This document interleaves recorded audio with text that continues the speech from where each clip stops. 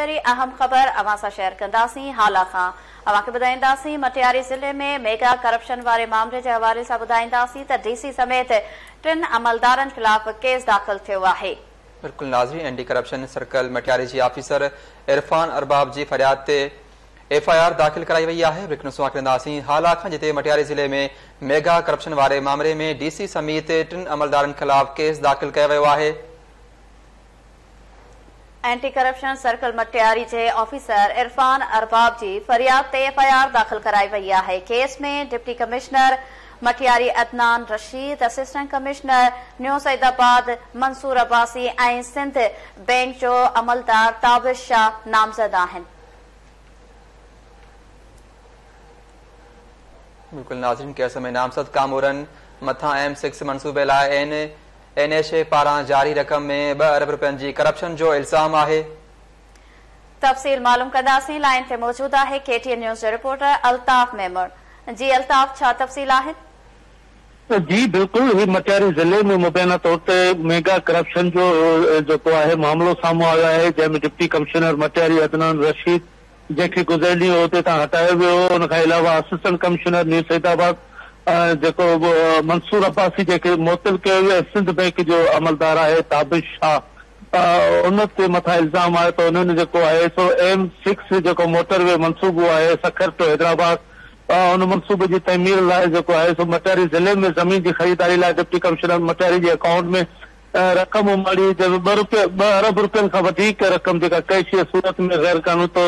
है कानूनी घोटियूं पूरी न कयूं जंहिं एंटी करप्शन सर्कल मटियारी जो जेको सर्कल ऑफिसर आहे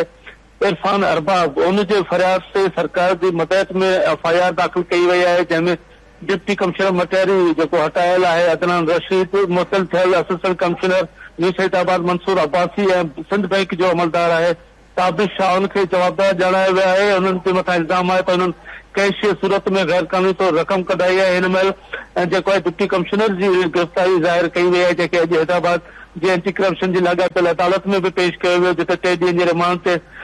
एंटी करप्शन पुलिस हवाले कयो वियो जॾहिं त सिंध बैंक जो अमलदार ताबिर शाह ऐं मुतल सिंध जेको असिस्टेंट कमिशनर न्यूस हैदराबाद आहे जेको लैंड एक्यूज़ेशन ऑफिसर बि हुयो जेको हिन मटियारी ज़िले मां गुज़रंदड़ मोटरवे जी ज़मीनदारी ज़मीन जी ख़रीदारी हवाले सां उन्हनि जी गिरफ़्तारी जेको आहे सो अमल में न अची सघी आहे जेको हैदराबाद मटारी ज़िले जो जेको इंतिज़ामी सरबराह आहे डिप्टी कमिशनर उनजे मथां ई मेगा करप्शन जो इल्ज़ाम जेको आहे साम्हूं अचण खां पोइ जेके ज़िले जे इंतिज़ामी अमलदार उन्हनि में थथलो मतल आहे जेको एंटी करप्शन जी टीम आहे चीफ सेक्रेटरी पारां जेका जुड़ियल जांच टीम आहे उन्हनि गुरबर न जेको आहे उहो तहवील में वठी छॾियो आहे ऐं जांच जो दाइरो जेको आहे उहो वसी कयो चयो वञे थो जांच दौरान जी वरी महिरबानी नाज़न हालाक आलताफ़ मेहमान तफ़सील ना आहिनि